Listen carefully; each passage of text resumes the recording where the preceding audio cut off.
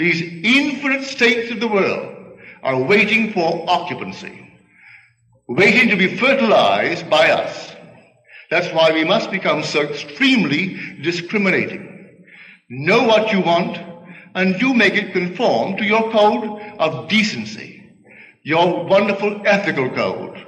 You don't have to in any way tarnish that code. You don't to get what you want in this world.